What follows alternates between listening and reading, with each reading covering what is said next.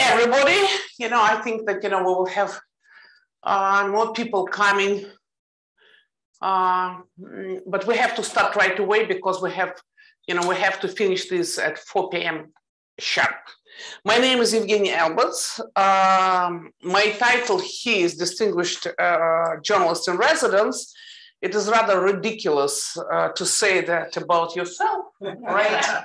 uh, that I'm editor of the Moscow-based website New Times, now blocked by the uh, Russian government, and an anchor of the Absolute Albats on my YouTube uh, channel, Echo Moskvy, where you know this program was broadcasted for 19 years straight also, you know, of course, you know, blocked by the Russian government. You know, they took it off the air. Uh, this year, I'm running this series of interviews titled "In Conversation with Yevgenia Albats," and my guest today, the real power couple. I learned this, you know, yes, this this word, this uh, this uh, expression. The real power couple, journalist Susan Glasser and Peter Baker. Thank you very much for having for uh, doing this and for coming to the center. And I'm thrilled to ask. Uh, so I will I will be asking uh, questions, but first I would like to say that um, the director of the center, Professor Josh uh, Tucker, you know, director of the Jordan, uh, NYU Jordan Center of uh, Advanced Study of Russia, he's away, and therefore, you know, uh, but you know, he wanted to be here, but you know, just he had to be on the east, on the west coast of the United States. I guess you know he's given lecture to your son special. By the way, do you know that Dasha Navalny also yes. Yeah. You know, she did the same program that uh, our son is doing. Yeah. Uh, it's called Structured Liberal Education. Yeah. Wow. Really? Structured Liberal yeah. Education. Okay. Okay. Okay, so uh, my first question, of course, will be with regard to this book. You see it, it's just a recent book, just the last book, not the last book, I don't know whether you know you have any prejudice against the word uh, last because in Russian they no longer say last, последний. Mm. They sort of you know yes, they're biased. It's very смешно. Крайний, they say крайний. You it's sort of you know it sounds for the Russian uh, ear awful. But anyway, you see this book. It is the recent book, The Divider. Trump in the White House. And you know, this book just hit the stands. However, already the New York Times marked the book as, quote, the most comprehensive and detailed account of the Trump presidency yet published. And the Washington Post wrote, quote, a, some sumptuous feast of astonishing tales. The more one reads, the more one wishes to read. In fact, it's true because you know I've been reading you know last night, and you know it, it just just you know takes you in. You know it's it's amazing in that respect. Let me very briefly introduce our guests. Uh, Susan Glasser is a staff writer with The New Yorker. She runs a column titled Letter from Biden's Washington, first in the, in the last New Yorker. That is uh, uh, Susan's column, last New York, right? Every week. Every week, but already uh, every. Okay, I'm sorry. Okay, so Susan was born into newspaper family. Her parents, uh, I was. It was very interesting to find out that your parents founded Legal Times, a weekly legal newspaper. Mm, Susan graduated from Harvard, edited the Sunday Outlook section of the Washington Post, covered wars in Iraq and Afghanistan, served as co-chief of the Washington Post bureau in Moscow, and another co-chief was her husband Peter Baker. In between, got a child, edited Foreign Affairs and Politico, and was one of the founders of the Politico magazine. And also, she co authored three books uh, with uh, Peter Baker.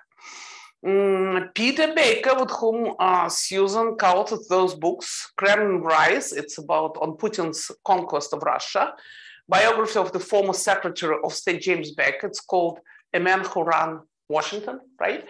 And now, uh, and now you know this the divider. So uh, Peter Baker covered five administrations, from Bill Clinton and through uh, Joe Biden, covered Afghanistan and Iraq. Uh, in fact, you know Saddam Hussein's uh, uh, Iraq. After 20 years with the Washington Post, joined the New York Times and became its chief White House correspondent, authored seven books, briefly was the uh, the New York Times uh, bureau chief in, in Jerusalem, right? Very briefly. Very briefly, but returned back. No, I remember this because, you know, I was in your house slightly uh, before you went there. Yes, right. And then you returned back because all of a sudden Trump was elected as the president. Right. And just, you know, nobody knew how to cover the Trump White House but you. So, so welcome. And once again, thank you very much for, for doing this. Now, if I may, my first question will be the following. On Thursday, President Biden said, quote, uh, that you know Putin uh, that he knows Putin fairly well, and the Russian president was not joking when he talks about potential use of tactical nuclear weapons or biological or uh, chemical weapons. We have not faced the prospect of Armageddon since Kennedy and the Cuban Missile Crisis. I don't think there is any such things as the ability to easily use a tactical nuclear weapon and not end up with Armageddon. End of quote. It sounds pretty awful, to be honest with you. It does. Yes. Yeah. so, my question how would you comment on this? Well, first of all, thank you, Jenny, for including us in this great program. We're delighted to be here with. All right, all right, Perfect. even more delighted now. Is that? you can hear me? All right, we're, we're delighted to be here with everybody. Still not on. No? Can you hear me? Yeah. Okay, she hears me. That's all that matters. As long as people who are watching can hear me, that's. Yes. I'll speak up for anybody in the room. But thank you for having us. We're so delighted to be here. We're delighted that Jenny is here. We were so concerned uh, about her and all of our friends who are trying to practice journalism, which is now unfortunately basically a crime in Russia. And the courage that Zhenya has demonstrated and, and that her colleagues have demonstrated in the face of this crackdown is an inspiration to us, and I think an inspiration to, to everyone everywhere. Um, you're right. It is a chilling thing for an American president to say. The word Armageddon, the idea that there could be a nuclear uh, war, is is is frightening. Um, now, the White House quickly walked it back a little bit today by saying we don't have anything new to indicate that Putin is about to do something. What they have told us in the past, privately in recent days, is they have not seen any intelligence that suggests the deploying of assets or resources that would indicate somebody wanted to actually do it. So they still, I think, believe to some extent this is bluster and and uh, saber rattling by a leader who recognizes that he is in a weak position, that he has lost a lot of ground in Ukraine and not achieved his uh, his strategic goals, and therefore is trying to scare everybody into uh, remembering that he's a great person and that Russia is a great power. But having said that, you have to take it seriously because it is so serious. I, I talked to a White House official and they, they said, you know, I said, where are you on a one to 10 scale of concern? He said four, thinking I think that that would be not that bad. And to me, the idea of a four for nuclear, Four out of 10? four out of Yeah. 10. Oh my is- goodness. That's scary. Is That's very, very very scary. scary. Very scary. So we ought to be scared. Um, But I thought it then became six. No, it hadn't been, the other guy was six, this guy was four. Anyway, we, either way, any number you pick other than zero is too much and too scary. And so, you know, they have to prepare for this. Now, it makes no sense for Putin to use it. It would not accomplish a lot of the things that he says he wants to accomplish. He would be killing Russians almost certainly if he were to use it. If in any of these battlegrounds in eastern Ukraine, a lot of Russian speakers are there. His own soldiers would be potentially in danger. There is an argument that the winds would blow back into Russia. So it would be, it, it would not be a t- militarily smart thing to do, the experts say. But he has shown again and again that the things that we consider to be rational do not necessarily drive his decision making. Thank you, Jenya, and thank you um, a lot for doing this and for being here because we think the most important thing is for you to keep doing journalism, and you can't Yeah, do that thank if you're if you're not in a place where you're allowed to speak freely. And so we're we're grateful that you're here. We're grateful that NYU has made this home for you. Um, if the president of the United States warned about Armageddon, you have to take him seriously, right? And so to me, I, I, I learned a couple things from Biden saying this. Number one, uh, which is not good news that they are in there gaming out how to respond to a Putin use of nuclear weapons that Biden has found himself with no good options. So that's one thing I take away from his comments is that the American kind of scenarios here are very bad and that they lead to American escalation because there's no way uh, not to respond uh, as if this was a nuclear attack on us and our interests in many ways, right? So that's part of what I take away, uh, which is which is very scary. Number two, um, I do think it reflects uh, Biden's lack of discipline as a politician. And uh, when you have Emmanuel Macron, of all people, uh, coming out as he did today and sort of chiding Biden and saying, I think when it comes to this subject, one is advised to be careful or something like that.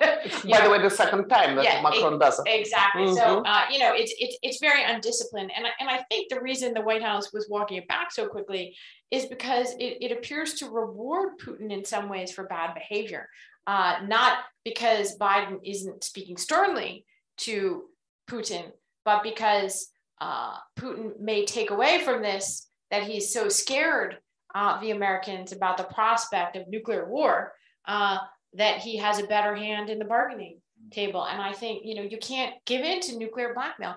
Vladimir Putin is holding the world hostage. We are all hostages in many ways to Putin, and and the the use of uh, this nuclear saber rattling, in my view, is in and of itself uh, a very serious uh, global norm that has been violated by Putin. Because until the Ukraine war this year, no responsible nuclear power has done something like this uh, to use uh, the threat of their nuclear weapons uh, as a, a, political bargaining tool. You have had irresponsible country like North Korea does it all the time.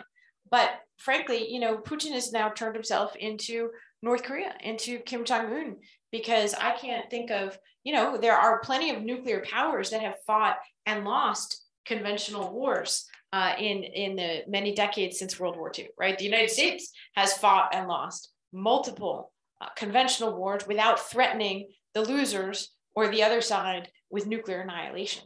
And so I feel that you know Putin has already you know really crossed a line that will make the world a more dangerous place for as long as all of us live, even if uh, there is no use of nuclear weapons. And let's, you know, pray that there isn't. But you know, time and again, the top US officials stressed out that if Putin uses tactical nuclear weapons, and we're talking about tactical nuclear weapons because obviously, you know, strategic nuclear weapons at the end of the planet, uh, there will be a decisive response, decisive response from the side of the United States and its allies. But do you have an understanding of what kind of response Washington has in mind? Yeah, that's such a good question. okay. No, no, yeah. Now, look, we don't know for sure. We don't know. They're going to game that out at the Pentagon. They're going to game that out in the Situation Room of the White House. They're going to talk about if this, then that. But they don't want to say that out loud because the strategic ambiguity is an important diplomatic tool, right? They want Putin to not know. They want him to be guessing. They want him to be unsure of what would happen as a result. But you're right. I mean, the truth is, we're not talking about strategic nuclear weapons, but but you never know once you start down that road where it ends, and that's what Biden is saying here. It may start with one tactical nuclear weapon, and then what? NATO comes in and then bombs Russian forces in retaliation because we can't accept this. And then what? Putin uses another one. Does he use it against Poland? Does he use it against Western Europe is, and does one thing lead to the next? If he uses one against a NATO country, do we have to use one against him, et cetera, et cetera? And it's easy to see a spiraling out of control situation where, uh, I mean, one nuclear weapon is too much. It's easy to see how it spirals far into a far worse scenario. So they don't want to say, and they are hoping that that if Putin is not a rational actor, that at least people around him might still be a, might be rational and understand how catastrophic this would be and how dangerous it would be for Russia as well as for everybody else. But there was somewhere in the United States media, you know, I read that, you know, the response that some of the US officials said that uh, the response was going to be uh, with the conventional weapons. Yeah, there have been reports about that. And actually, Peter and I were on the other day uh, with uh, General Petraeus, who used to be the head of the CIA. And he he sketched out a very aggressive but conventional response that would initially take place. He, he his view was uh, that the United States would immediately enter, officially enter the war uh, on Ukraine side as a result of any uh, Putin use of nuclear weapons, that uh, you know there would be attacks on the uh, Russian units or bases from which the uh, tactical weapon was launched uh, inside of Russia, uh, and that you know there would basically be uh, you know the ending of the proxy war and the beginning of the actual war war, and that Putin would not want to bring that upon himself. And that's the part that really I, I think I keep getting stuck on is that you, you can see how it serves Putin's interests to a certain extent to, to use this nuclear blackmail, right? Because he's it's changing the subject. We're talking about his nuclear weapons instead of talking about his defeats on the battlefield. Uh, it, it gives him power again over us, which is important. But, and this is a big but, on what planet is actual use of nuclear weapons not the end of Putin's regime? Period. You know, already what you hear in Washington, and I'm sure you've heard this many times, is that it's actually not possible for a negotiated peace with Putin. They can, US officials that Peter and I have spoken with are very clear that there's, they cannot envision a scenario where sanctions would ever be lifted on Russia as long as Putin is still in power in the Kremlin. And a Putin use of nuclear weapons, let's just say we avoid, you know, full scale Armageddon. He's he's changed the calculus. He's made himself an outlaw in the world, and he's determined that everyone in the West, not just the United States, would be not satisfied until he was out of power. So it seems to me that it's very clearly the end of his government and his tenure in the Kremlin, if not his life, to use a nuclear weapon. And I I, I feel that he's a very calculating man, and it's hard for me to see uh, that he would be serious about this because it would be the end of his government. Do you disagree? I'm going to leave it at that. I think that makes that makes some sense. I, do, I agree with. I, I am not sure, but I think that's a, you have to. If, if you were him, you would have to wonder and worry about that. We remember President Obama's red lines with respect to Syria, and you know when Bashar Assad committed all these atrocities and uh, President Obama kept saying, you know, this is red line, we cannot cross. This is, and then there was postponing and postponed and postponed. Yeah. And of course, you know, Joe Biden, the current US president, then was the vice president. So, um, to which extent uh, uh, President Biden's understanding of the red lines fits the one that, you know, President Obama showed to us with respect to Syria? Well, that's an interesting question, an important one, because you're right. The, the, the, the, that episode, you know, brought into question credibility, right, of Washington's threats. Now, what Obama would tell you is that he ended up not using force because he negotiated a deal with Russia to disarm Syria of its chemical weapons, and that there was, in fact, over the uh, succeeding months, a rather extraordinary you know effort to to, to take away these very uh, horrific weapons from Syria. Now, of course, Syria then later reconstituted or had hidden or whatever, so it didn't fully work. But Obama would tell you he got a better result than simply having a couple airstrikes that didn't actually do anything. Okay, well, the problem is that people didn't remember it that way. What they remember is exactly the way you remember it, which is he said he would do it, he didn't do it, therefore we shouldn't assume uh, that the Americans will follow through. Biden knows that. I think Biden is being very careful, even though he's very dis- undisciplined at times, not to make a very specific uh, threat, but to make it uh, understood that if if things go too far, in his view, that the America will have no choice but to respond. And I, I think that he, I think he understands that, he feels that, but he doesn't want us to understand. He doesn't want to be very concrete in what he's talking about because he, he, he would like to have flexibility to to decide what to do in any circumstance rather than boxing himself in too too strongly the way Obama did. Okay, um, if if I may, you know, the you know, I understand that it's a little bit, you know, this sort of, you know, the uh, yellow press question, but still, some analysts suggest that the US may go after President Putin himself. Mm-hmm. In fact, you know, last week we had here over Zoom uh, Sergei Guriev, the provost of the Sciences-Po and the well-known political economist. And I was, to be honest with you, surprised, but Sergei, who's very, very cautious, and you know him, I know him for years, right? And he said that bin Laden did uh, harm to the US much less than Putin already did. And you know, US went after bin Laden and he was not his and you know, in his he thinks that US may go after Putin himself. Do you envision this? Is it possible?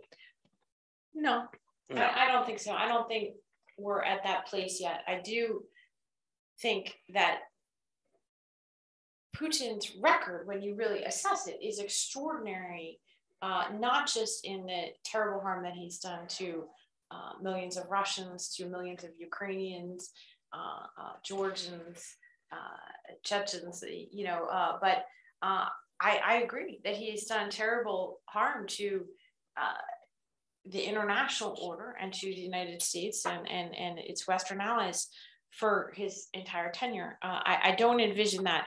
I would say on this issue of the red line that, you know, Putin took the wrong lessons. He has a crazy version of Russian history that is informing his war in Ukraine. He also has a crazy version of, um, you know, recent history in terms of, you know, the United States. However, there is a strong argument to be made that the US has had very flawed foreign policy uh, over the two decades that Putin has been in power, and that it has uh, done many things that have caused Putin to take uh, uh the wrong lessons here. Um, if you look at how Russia was able to survive the sanctions that was placed on it after 2014 and its uh, illegal annexation of Crimea, uh, you could say, well, you know, Putin thought that he could just, you know, have a few more sanctions and get away with it. You could look to 2008 and uh, his invasion of Georgia, and he felt that it was really a very minor, you know, time in the in the penalty box that he faced. Uh, and then all of a sudden, there was Barack Obama come calling to Moscow and you know talking about, oh, we're going to have a reset. And you could look to again and again and again U.S. officials being wrong uh, about him and essentially he poisoned somebody using a deadly nerve agent in Great Britain. And even that doesn't make him uh, a pariah. In fact, he does it again. You know, uh, and so I do think that the history of you know red lines being crossed with Putin is is clearly contributed to this current moment. I, I hope on the nuclear stuff that he uh, is getting the message that you know we're serious about this and that it's not a line to be crossed. I hope so, because obviously, as you mentioned, you know, in 2008, it was amazing to all of us, you know, after uh, basically Russia annexed 20% of Georgia territory, United States imposed sanctions, and three months after, United States just forgot about it. It was like, wow, so it's allowed, so it's possible and obviously, you know, uh, United, Russia doesn't, you know, see eye to eye only with the United States. Obviously, you know, yeah, that's the problem. Also, of course. Mm, Peter, you covered five administrations, as I said, from Bill Clinton through the Joe Biden. You know, in and out of the White House. Should the war happen with President Trump in the White House, the US policy towards Ukraine and Russia be different? Mm. That's what some people say when you speak with them, you know, on the off the record basis. If yes, in which ways? Yeah. It's a great question, obviously. President, former President Trump has said, oh, Russia wouldn't have done this, Putin wouldn't have done this if I were in office. Well, we don't know, obviously. And that counterfactual is impossible to prove. It's possible he's right. It's possible Putin wouldn't have felt the need to do it because there's no way that he would have expected Ukraine to join NATO because Trump was trying to break NATO up what we report in our book is that Trump came closer to pulling the United States out of NATO than anybody really understood at the time. That we heard him talk about it, but sort of thought it was a false threat, a sort of a braggadocio, or not braggadocio, bravado, you know, uh, boisterous, uh, what's the word? I mean, blustery stuff. I'm not talking well. Uh, but in fact, he kept talking to his aides and wanted to pull out, and they kept trying to stop him along the way. So, a second Trump term, you might expect him to pull out of NATO. If we had not been in NATO, the United States had not been in NATO at a time when Russia invaded Ukraine, imagine what a different scenario that would be. If part of Putin's strategy, part of Putin's goal in invading Ukraine was to drive a wedge in the West, he obviously miscalculated because the exact opposite happened. But he wouldn't have needed to do that with Trump in office because Trump was the one who was disrupting NATO. In some ways, Trump was doing what Putin would have wanted him to do. So we can't make a judgment on what would have happened necessarily if Trump had been in office. But I do think it's important to remember how much Trump was doing what Putin would have wanted to do. There's this great moment or extraordinary moment in our book after the Helsinki summit, where, of course, Trump is standing next to Putin and says, you know, I basically takes his word on the election interference over that of his own intelligence agencies.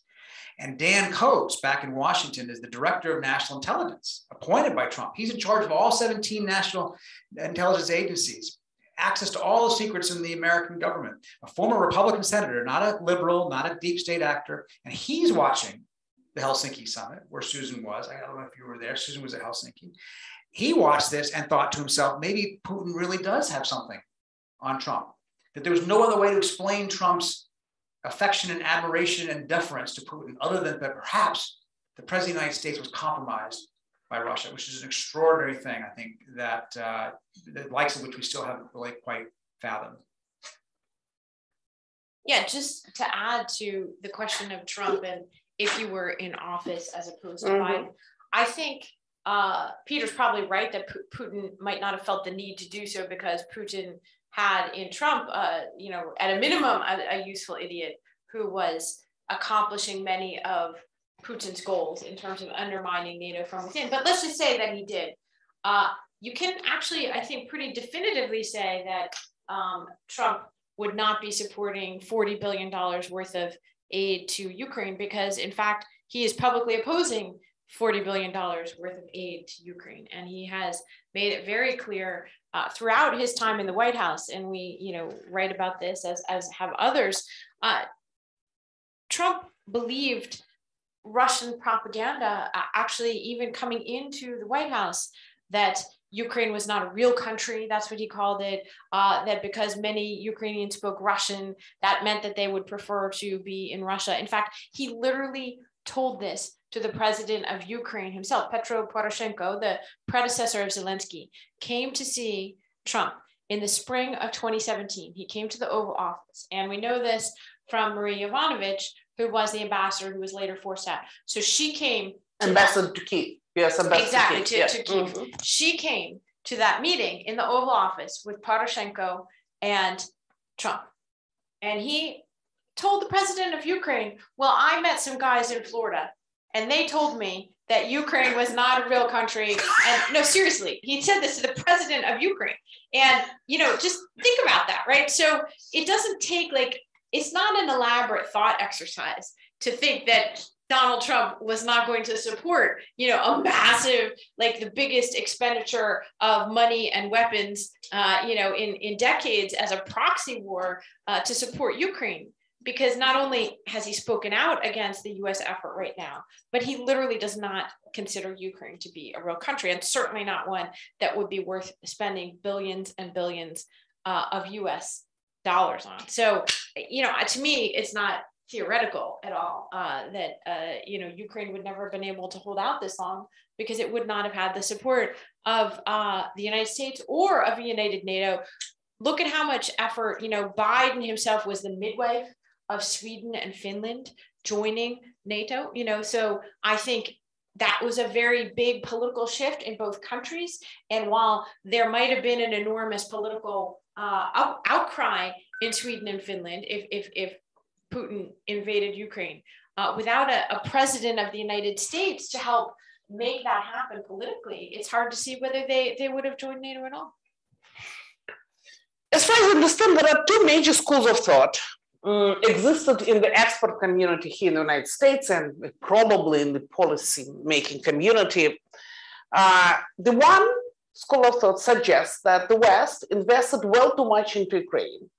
And the saying goes Ukraine is not the West.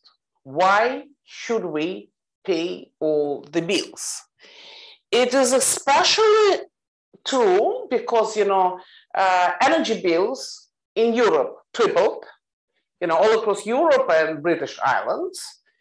And uh, if you speak to uh, German um, experts or policy, policymakers or to Frege, they will tell you that Europe is facing the rise of the far right. In fact, you know, Italy already, you know, uh, elected, you know, a far-right government. Thanks God, you know, this uh, woman supports this, the, the, new prime minister uh, from the very, very right uh, side of the Italian politics. She supports NATO. Salvini, who was on Putin's payroll, allegedly, allegedly, um, you know, didn't lose. So uh, there are some good things about this, but also in Sweden, all of a sudden we see ensuing, you know, that, you know, the, the far right uh, came into power. So, and therefore, you know, Europeans say that uh, United States is the major benefactor of this war because uh, prices on liquid gas that now United States supply to Europe, you know, went up. And basically, United States substitute Russia for, for the gas. And secondary, that you know, of course, you know, uh, um, uh, arms sales are on the rise. However, Europe is facing, you know, the rise of the far right, and Evgeny, you have to understand that that's anyway. So and so, and the second uh, school of thought here says quite the opposite. Says that you know, and to those who I support this point of view, that uh, that if Putin wins the war uh, in Ukraine, it will go after the rest of the East, Eastern Europe. From my perspective, it goes without saying that, you know, Poland, Baltics, you know, Czech Republic, you know, for sure Moldova, Moldova, there, you know, there will be. Anyway, but I'm, I'm sorry, I don't want really, you know, I, I shouldn't, you know, go that far. Yes. Well, I mean, look, you know, there is a debate in the United States, but not much of one that suggests that we don't uh, have an interest in Ukraine. That that percentage of the American polity is still relatively small.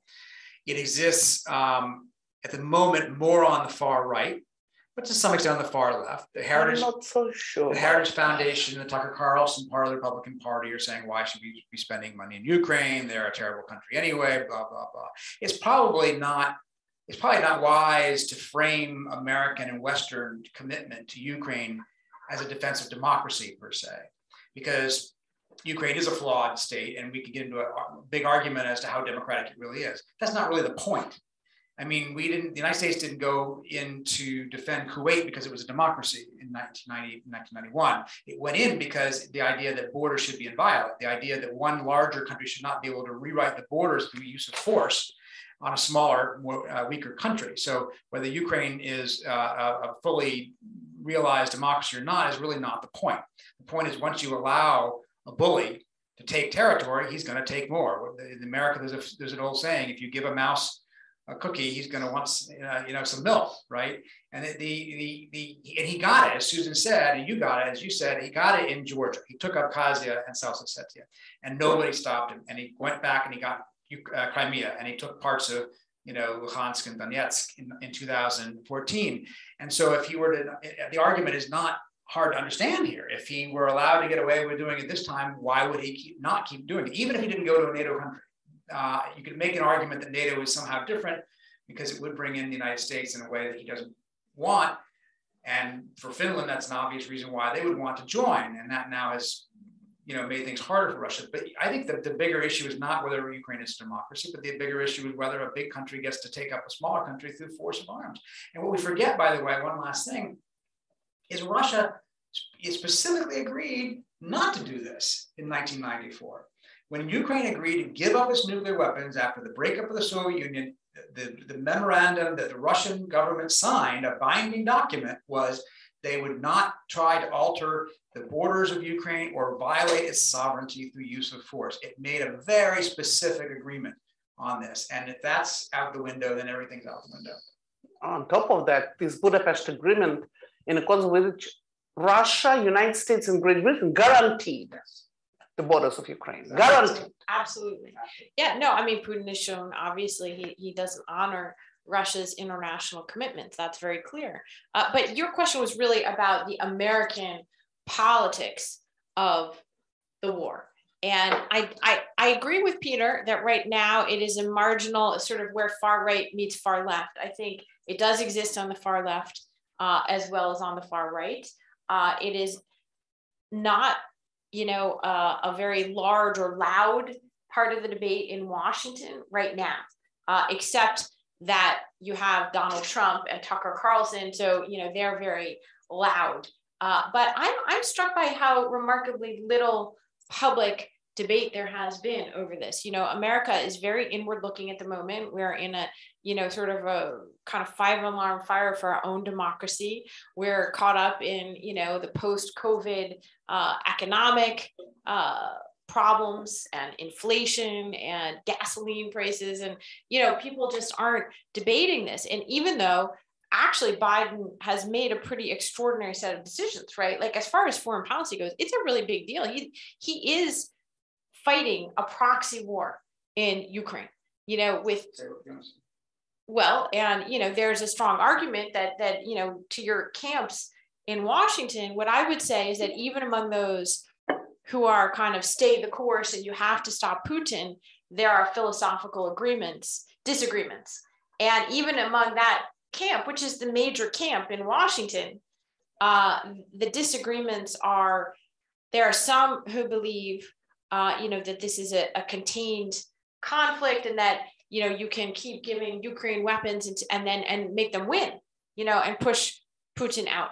Uh, and then there are others who believe that that is actually not possible, that the United States, whether we call it that or not, is already at war with Russia uh, because we are supplying essentially all of the, the weapons that make this a real fight uh, because Putin has said that he's in a war with us uh, and for a variety of other reasons. And that while we need to keep supplying Ukraine, this school of thought goes, uh, that wouldn't be the end of the story, anyways, because Putin will never stop as long as he's in power.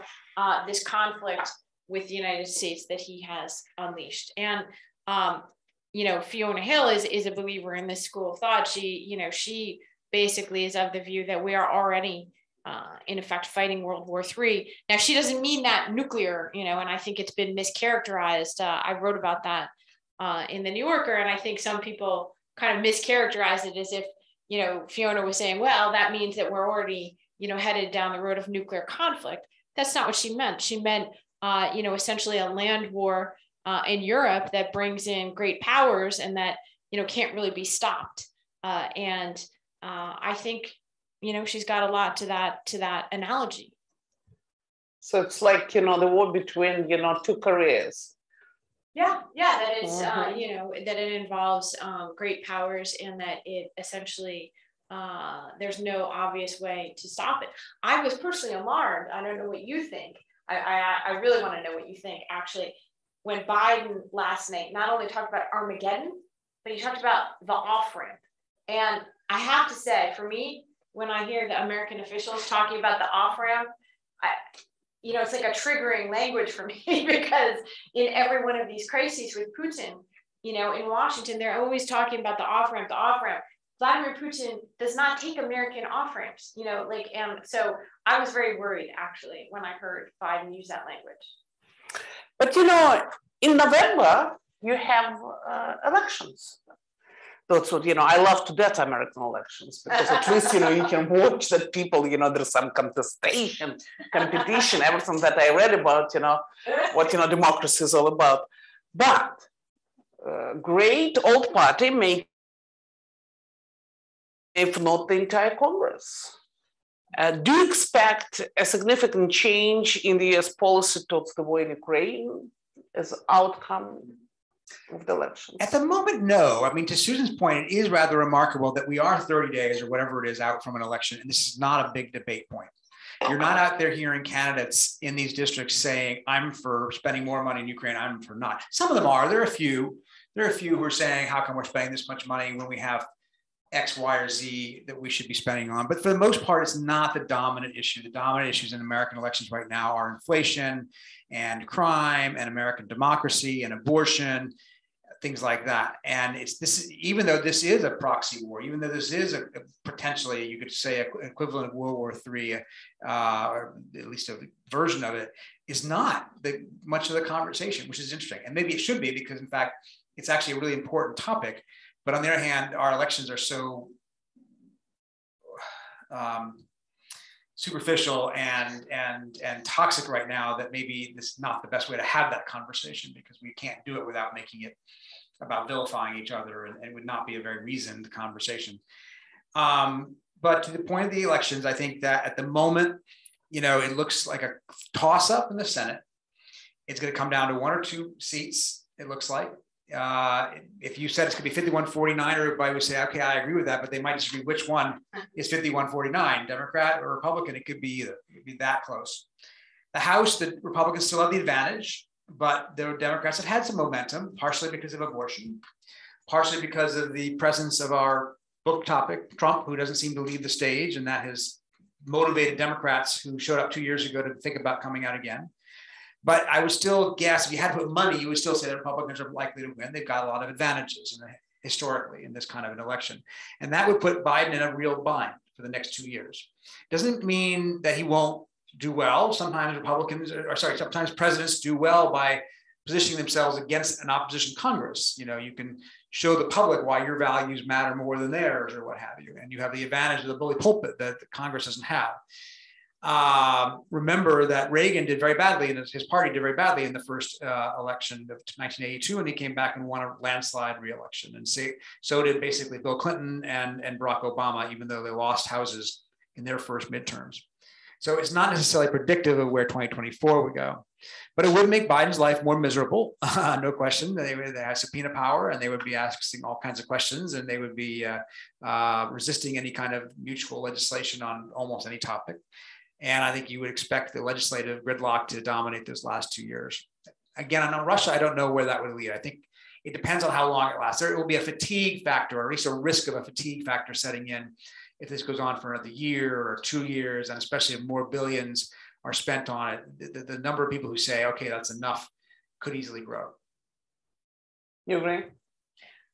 Yeah, definitely. I mean, I do think that Republicans taking over the House would be bad news for Ukraine and for, you know, the alliance overall, uh, and, uh, you know, a big distraction uh, potentially for the Biden team. Um, you know, it's not the top of mind. So can that, they overwrite lend lease to Ukraine? I think the question is whether they can keep the flow going. I, they're not going to take back money that they've already appropriated, but there is a question about whether uh, they can keep the arms going. And I think that's why you see this big press by Ukraine right now. A lot of this offensive is related to it's related to a couple things the weather you know they want to do it before the winter and before both sides settle in for the winter they want to gain, gain back as much territory as they can uh, so and it's also related to the political calendar including the political calendar in the united states. So the question here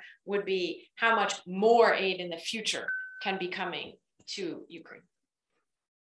Uh, in your most in your you know most recent book the divider trump in the white house you put dates 2017 2021 uh, is it that you expect to write another volume that there will be you know another four years of trump but you you of course you know when you see these dates you think that you know okay guys decided you know uh, that they're going to write the second like book we're trolling you right? yeah. Uh, ironically it was the publisher that wanted to yeah, put the like the dates. We shouldn't throw okay. the publisher under the bus but the publisher wanted to put the dates on the cover and their thought was they wanted to make clear the book was about all four years of his presidency because nobody else has done that book. They wanted to define the book through that title. It's a four year history everybody else done a year or a few months here or this topic or that topic.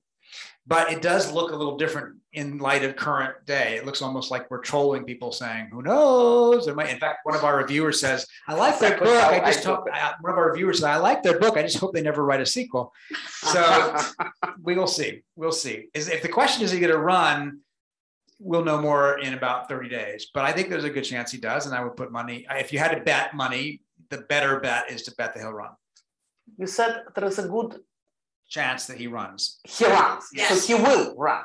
Yes. If for no other reason, I think that he thinks that running will be some sort of protection against the investigations that are closing in on him. He thinks that they might resist uh, or be reluctant to charge an active presidential candidate, or that even if they aren't, if they were willing to go forward and indict somebody like him, that he could use that as a political weapon with his base to say, see, they're coming after me because I am a threat to them and I'm running for president and discredit the notion of a prosecution.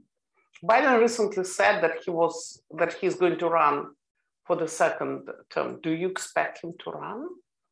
And I will keep my mouth shut because we remember this period in our yes. history, right? No, that's right. I mean, look, Biden mm-hmm. obviously is already the oldest president, uh, you know, and if he were to run for a second term, it's not just as Peter often says, how old he would be at the beginning of that term, but how old he would be at the end of that term. That is a huge concern, regardless of any of the other issues around, uh, you know, or partisan issues.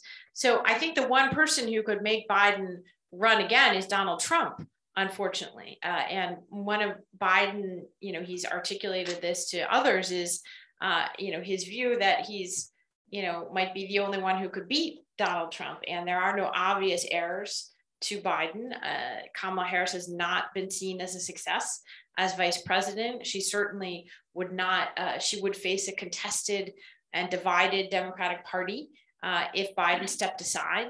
And so the risks of losing to Trump, if you believe that Trump uh, is a threat to democracy itself, as Biden has said that he does, uh, then you can see the, the thought process that leads you uh, to this outcome that pretty much nobody in America wants. it might be the one bipartisan consensus in America is that, uh, you know, a Biden Trump rematch is not a good idea for the country.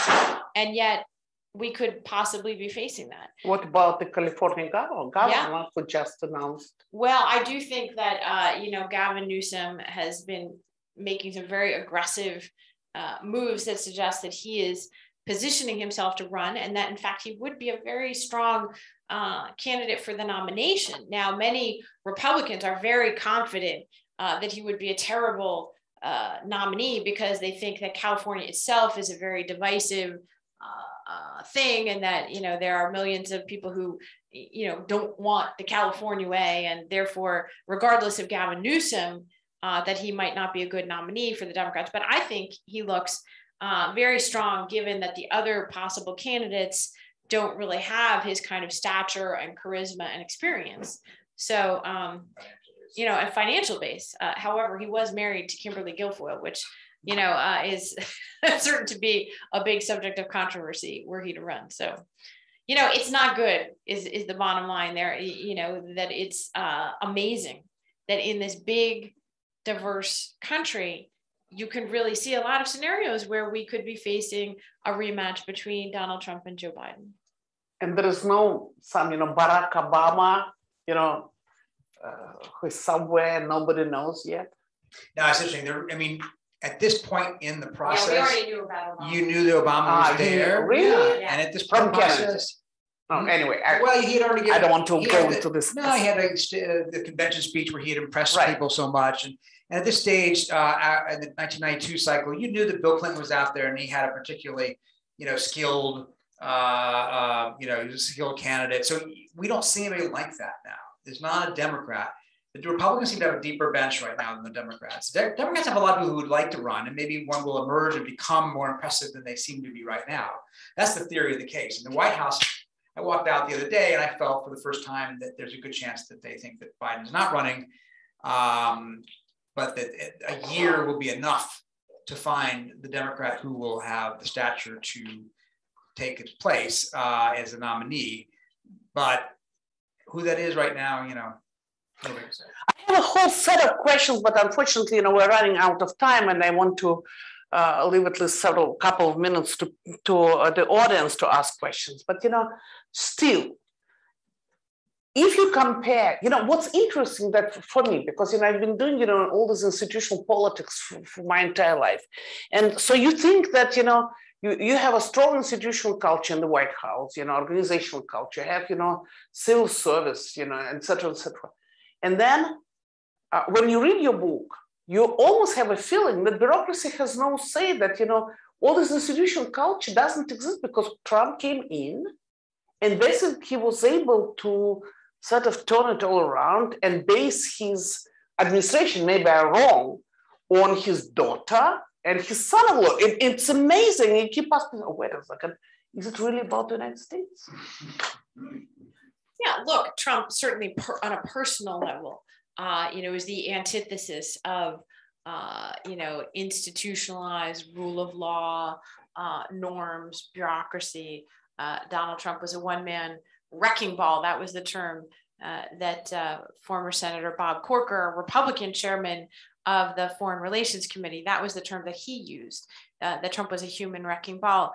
Uh, and I think, in particular, for kind of the norms and traditions of American government, he basically had a highly personalized, almost like a not either a dictator or maybe even more like a, a medieval uh, king, you know, uh, kind of view, right? That that sort of people should come to court and he should, you know, dispense justice himself or uh, you know assignments uh, in an ad hoc way. Now, of course, the American government is big and vast and uh, the damage that any one individual can do. So there are many things that just went on. Donald Trump had no clue about them. As long as they didn't come to the White House, uh, he ignored, uh, you know, many issues, and so they could largely proceed. Or in many cases, what the result of that was also very negative because they might hand it over to uh, a particular interest group or constituency. So Donald Trump, I don't think he cared at all about the Environmental Protection Agency, but he, uh, you know, handed it over to a series of representatives of industry who, um, you know, had a very free hand to eliminate regulations and roll them back and the like. So you know, he could still do damage in that way. But um, for the things that Trump himself cared about, uh, he really did, in many ways, explode the model uh, or suggest that our institutions were much weaker than we thought. In in in in the Trump presidency in Washington, it would often be said, uh, "Well, you know, Trump is bad, but our institutions have survived." And I, I honestly think that that is a an overly rosy assessment when in fact you realize like with the justice department at the end of the presidency we were just one or two people away from the institution not having withstood trump's demands that it uh, basically launch a fake investigation of the 2020 election that he would then use to uh, overturn the results. So um, you know for me it's it's a story about the limits of how we think about our institutions. We have you know just several minutes left. I'm so sorry, you know, I, you know, but uh, if, if you have questions, please uh, ask. Yes, go ahead. Okay, thank you so much for being yeah. here. I have so many questions that I kind of narrowed it down to one. Um, so casting your minds forward, what circumstances could you see leading towards reconciliation and what considerations would need to be made in that process? Reconciliation with along, Russia. With Russia, between Ukraine and Russia. Between the US. Right. Well, I mean, I, that's a long ways off. I don't think there's going to be any kind of reconciliation anytime soon. I mean, there's there's no way the United States can. I mean, it, will be up to Zelensky and the Ukrainians. They have to decide for themselves what, if anything, they're willing to accept as part of a, res, a resolution of this conflict, and the United States will basically back them up. The the last thing Biden wants to do is look like he's dictating to Ukraine that you have to give up territory, you have to make some sort of concessions, you have to do this or that. So he won't do that. Um, on the other hand, I think he would like there to be a negotiated solution so that they, that they can begin to move on. But I think it would be years even after that before the United States could get anything back to what we consider to be business as usual. Anybody else? Yes, please. I had a question about uh, recent events in Russia and mobilization. So we already seen stories about people like distorting and being sent to fight without having proper devices to do so or like paying for themselves.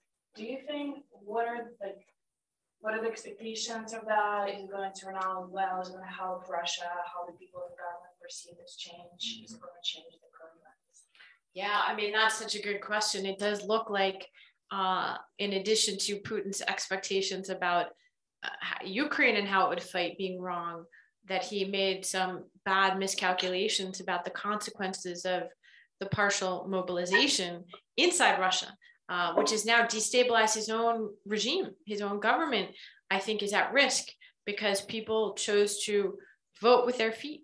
Uh, and I, to me, the numbers are amazing. I mean, you know, Zhenya would would know better how what you thought might have happened versus what happened. But certainly in Washington, it seems amazing that you know the reports are that like 200,000 people have left uh, that's incredible That's incredible. thousand, at least. You think more, five hundred You know, yeah. there were num- number seven hundred thousand, but we say that from five hundred to seven hundred thousand. Yeah. It's.